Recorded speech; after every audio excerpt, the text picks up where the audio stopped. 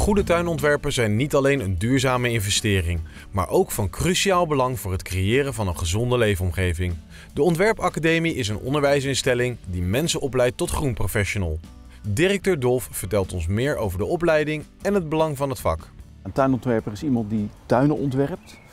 Uh, ontwerpen is iets anders dan tuintekeningen maken. Je hebt wel tuintekeningen nodig om een ontwerp te maken. Je zou kunnen zeggen tuinontwerpers zijn verhalenvertellers. En ontwerpers gebruiken daar allerlei ruimtelijke elementen voor.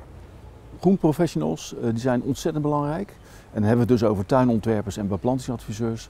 Omdat dat de mensen zijn die uh, heel erg be bezig zijn met biodiversiteit, duurzaamheid, klimaatadaptatie. Allemaal ingewikkelde termen. Het komt erop neer dat je die tuinen zo groen mogelijk maakt en op een zo verantwoord mogelijke manier. Dus het gaat veel verder dan dat je ergens zomaar een boom neerzet, struiken aanplant. Er moet echt een gedachte achter zitten. En groenprofessionals die worden daarin getraind om hele verantwoorde ontwerpen te maken die tot in lengte van jaren goed functioneren. Daar heb je kennis voor nodig. Die kennis die gaat vooral om ecologie, bodem en water. Uh, dat geldt zowel voor de tuinontwerper als voor de beplantingsadviseur. Daarnaast is het zo dat uh, ontwerpers vooral nadenken over het, over het inrichten, over het vormgeven van de buitenruimte. En voor de beplantingsadviseur, ja, die denken dus na over het toepassen van de beplanting. En met de beplanting, met materiaal in het algemeen, druk je zeg maar, de ontwerpuitgangspunten uit. Dus je geeft expressie aan de ontwerpideeën.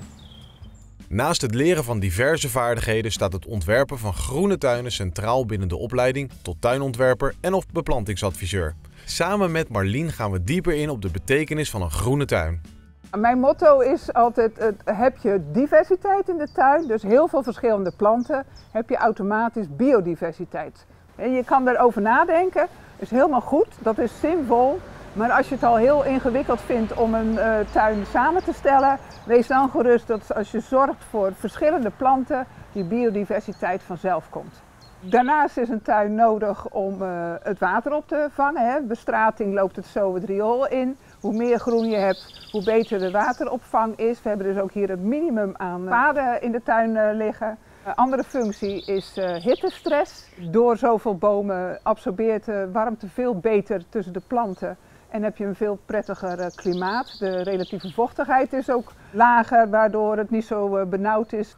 Voor het fijnstof is tegenwoordig de coniferen heel erg in trek, omdat die wintergroen zijn en een hele fijne structuur hebben. Het gaat dus niet om de precieze plant, maar de structuur van de plant is belangrijk. Wintergroene planten erbij voegen in je tuin is daarom belangrijk.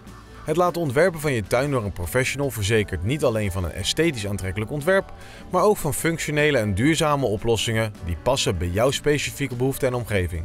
Meer weten over carrière switchen en de opleiding? Kijk dan op www.ontwerpacademie.nl.